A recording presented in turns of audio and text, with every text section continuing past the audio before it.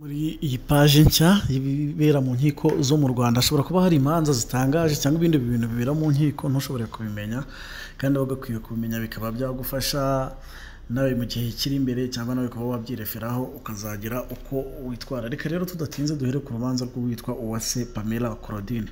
Uyu ni umwana bivuga ko ari uwa Rutayisire Jean Claude Jean Claude nk'uko byemejwe n'urukiko.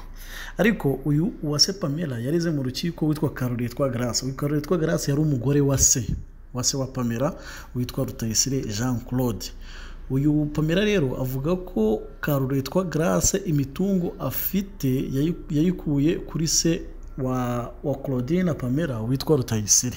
Ariko uyu Karuretwa akavuga ati imitungo ni iyanjye ndetse n'uwo Rutayisire yes ni umugabo wanjye ariko wowe se Pamela ntabwo uri umwana we. Wowe twakureraga nk'uko wakura undi mwana wese mu bibazo ukaza ukamurera. Wamukura mu muhanda wamukura mu kigo cy'imfubyi ukaza ukamurera. Wowe rero iyi mitungo yanjye mfite nta n'igipfusha wemereweho kuko imitungo ni iyanjye nta n'ubwo uri umwana wande wa Rutayisire wari umugabo wanjye ahubwo wowe genda ujye gushaka imitungo yawe.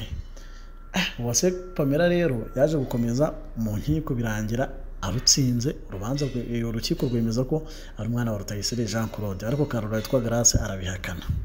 Nyuma y'uko urukiko rwemeje ko Uwase Pamela Claudine ari umwana wa Rutayisire Jean Claude uyu Uwase Pamela yatangiye no kuburana ku mitungo. Atangira kuburana ku mitungo avuga ati ngiye ngomba kuzungura ku mutungo wa papa Rutayisire Jean Claude kuko yitabye Imana.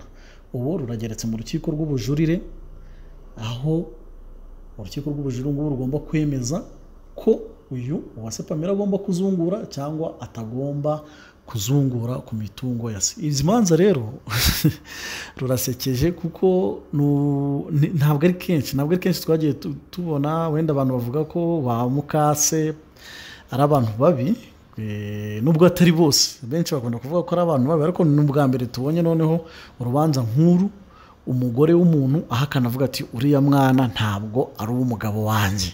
Ntabwo ngenda mukase. Ahubwo uyu nguyu twaramureraga tukamurera nk'umwana dufasha mu gihe uyu mwana we Uwase Pamela avuga ko ari umwana wa Rutayisire Jean Claude wari umugabo wa Karuretwa Grace. Mu kwemeza rero ko uyu Uwase Pamela Claudine ari umwana wa Rutayisire nta nubwo bigeze bifashisha ibintu bijyanye na DNA cyangwa ADN bagendeye ku batangabuhamya bari baturanye n'aba n'aba bantu bari baturanye na Rutayisire bemeza ko uyu Uwase Pamela ari umwana we.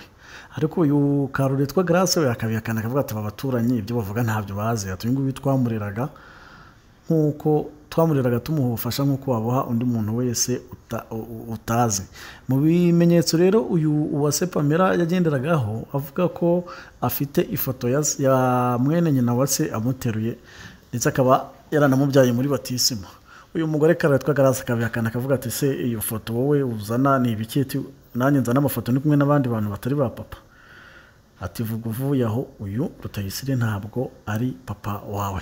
Gusa urukiko rwaje kubyemeza rugendeye ku bimenyetso bitandukanye nk'uko mubizi mu rukiko wakora ibimenyetso agakora ubushishozi bw'abacamanza n'amategeko bemeza ko Pamela ari umwana wa Rutayisire. Ubu rero mu rukiko rw'ubujurire bari kuburana bareba niba uyu Pamela yazungura ku mitungo ya Rutayisire ariko noneho nyuma y'uko Karuretwa Grace atsinzwe urubanza avuga ko atsinzwe urubanza bikemezwa ko Uwase Pamela Claudine n'umwana wa Rutayisire ubu Karuretwa Grace yazanye ikindi kibazo avuga ko imitungo afite. Njye ntari namenya uko ingana atari yo yakuye kuri Rutayisire Jean Claude ahubwo ari imitungo yakoreye. Urumva ko ni imanza ebyiri. Urwa mbere rwo kwemeza ko Rutayisire ari umwana we Uwase Pamela yararutsinze ubu hagezweho urundi rwa kabiri rwo kwemeza ko imitungo Karuretwa Grace atunze yaba yarayikomoye kuri Rutayisire Jean Claude ibyo we ahakana. Ngaho rero reka dukomeze dutegereze n'umwanzuro w'ubujurire nuza wemerera Uwase Pamela kuzungura nawo tuzawubagezaho wenda tuzaba twanamenya nuko iyi mitungo bari gupfa ingana. Ariko wumve ko ari urubanza rudasanzwe. Ushobora nawe kuba uzi iyi kesi imeze gutya? Abantu bavuga ngo nta bimenyetso iyi ngiyi nawe wayireferaho ikaba yagufasha. Aba bantu kuba babona ubutabera. Wumvise rero ari byiza wakora like ugakora subscribe. Byaba na ngombwa iki kiganiro ukaba wagisangiza inshuti zawe ukanze kuri